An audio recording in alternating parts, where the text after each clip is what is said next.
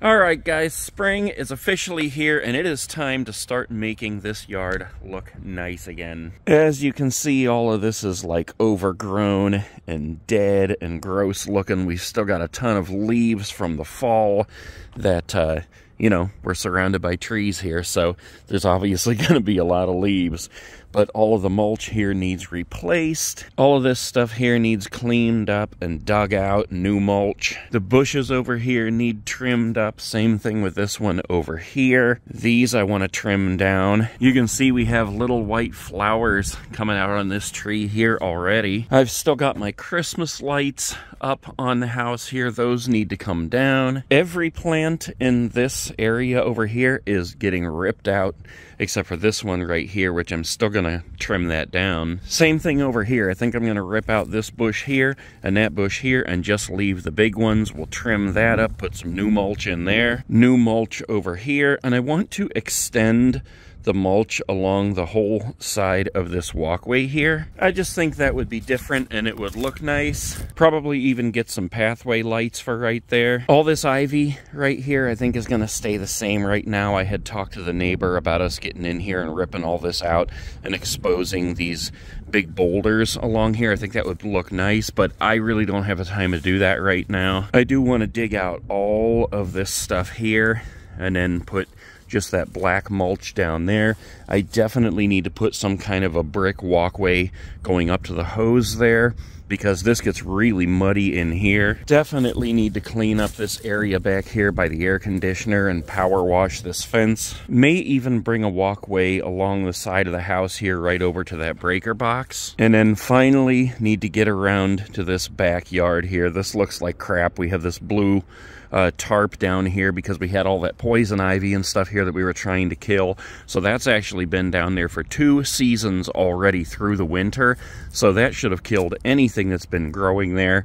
We got this big pile of uh, branches and stuff here we need to get rid of. Just a lot of cleanup back here that needs done. And maybe put some kind of lattice or something along the, uh, the edge of the deck there. And now that the winter is pretty much gone. I want to go ahead and pull those curtains back.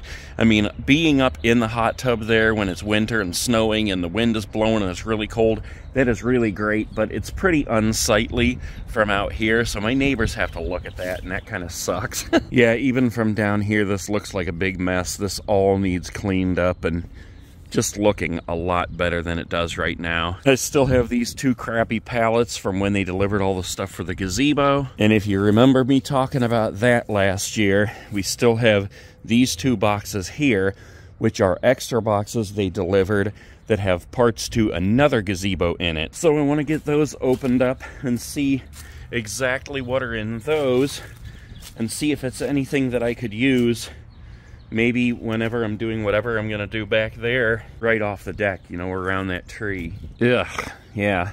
That pile of dirt from when I dug out the driveway here. We got this pile of beams here that I actually used before as part of the driveway, but I pulled all those up. Man, a lot of work needs done out here, and I don't want to go spending thousands of dollars to do it, but it definitely needs some attention.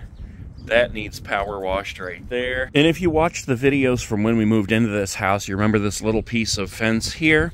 And there originally was another piece going across here, which I might replace, just build it in a way where it can be taken out when we're ready to get the RV out. Right now it's back there beside the, uh, the little shed there. But I think if I put the holes back in here and I could put that in there temporarily be able to take it out whenever I needed to get the RV out. I think that would look much better as far as like curb appeal. And these trash cans here, I don't know, I might put in some kind of a platform back here or something and we can put them behind that fence. I have already been online shopping for stuff to do this we got 75 bags of black mulch right there that was delivered yesterday. And we've been discussing what kind of plants to have around the yard.